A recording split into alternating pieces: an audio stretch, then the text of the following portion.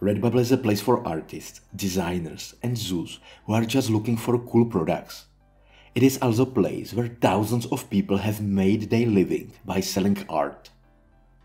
And it is also one of the reasons why many people are seeing videos on YouTube that promise that you can make $100 per day or $1000 per month on Redbubble.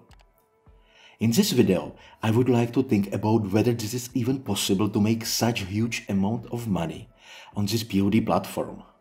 This is also because I get a lot of similar questions on this channel. And I would like to think a little bit about what you can expect from Redbubble and what kind of reality you need to prepare for.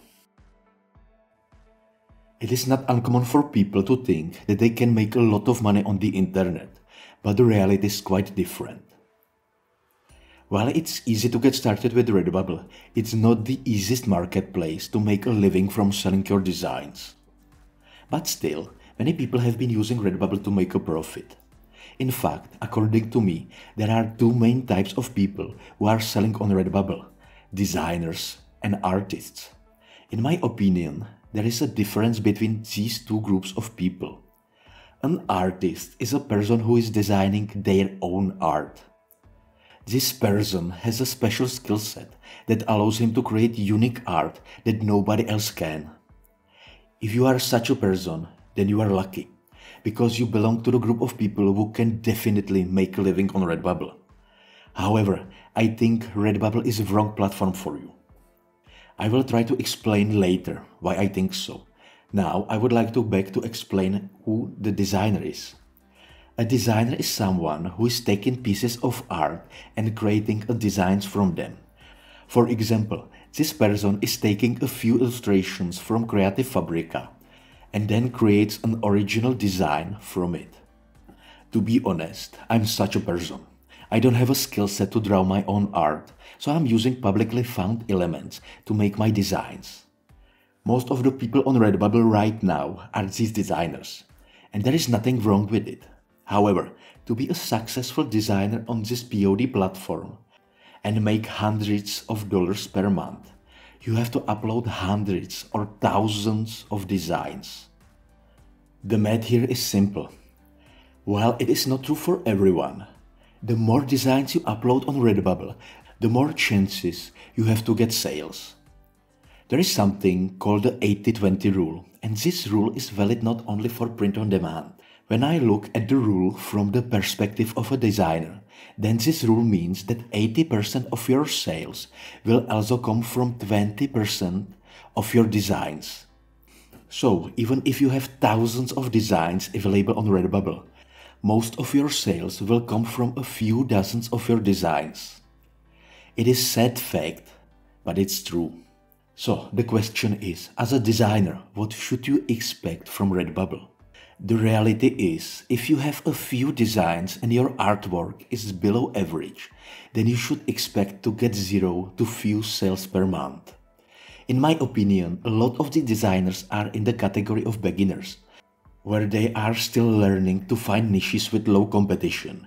They are just learning the SEO game and improving their designing skills. Then there is a group of designers who already have uploaded hundreds or thousands of designs to Redbubble. These people have decent skills when it comes to artwork and they know how to find low competitive niches. In this case, you can expect 10, 20 or even 50 sales per month. If you belong to this group, then it is possible to make $100 per month and more. But you cannot expect to earn $1,000 from Redbubble alone.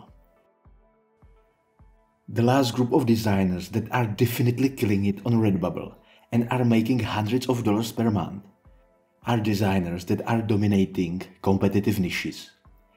If you are on the first page on Redbubble for funny cat search term, then you are making sales every day. So, if you are one of these people, then congratulations to you. I'm not this person. I belong to a group of people who are making tens of sales per month on Redbubble. Usually once or twice a month, I hit $100 per day, but mostly in November and December. And I don't think I can ever make $1,000 per month on Redbubble. but it doesn't mean I can make it elsewhere. This is one important thing you should understand.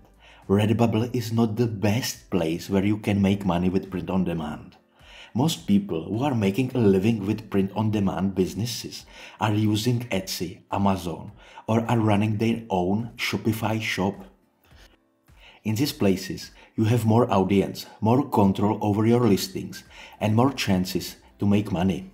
It is definitely worth considering getting into these marketplaces.